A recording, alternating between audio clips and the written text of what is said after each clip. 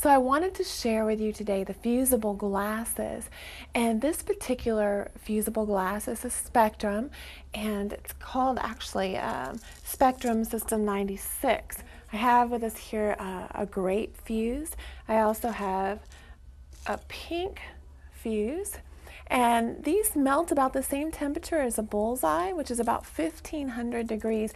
These glasses can not only be used in like your regular leaded glass and foil glass projects that we're going to be doing today, but they can also be used in hot glass. So they're used for hot or cold processes.